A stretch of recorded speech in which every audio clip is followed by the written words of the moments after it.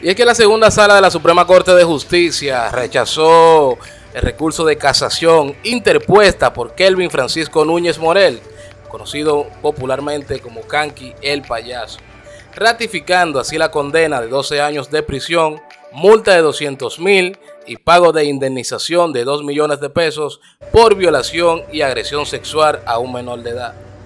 Servida por el abogado Félix Portes, abogado de la víctima, cuyas denuncias surgieron por primera vez en el programa de investigación desclasificado con la periodista Adisburgo. El 12 de abril del 2019, una jueza del cuarto juzgado, siendo como oficina judicial de servicios de atención permanentes de Santiago, dictó tres meses de prisión preventiva contra Francisco Núñez Morel. Fue el 8 de junio del 2021 cuando los jueces que componen el primer tribunal colegiado del Distrito Judicial de Santiago condenaron al payaso Kanki quien fue encontrado culpable de abusar sexualmente de un menor de edad, aunque eran tres los querellantes. Así es.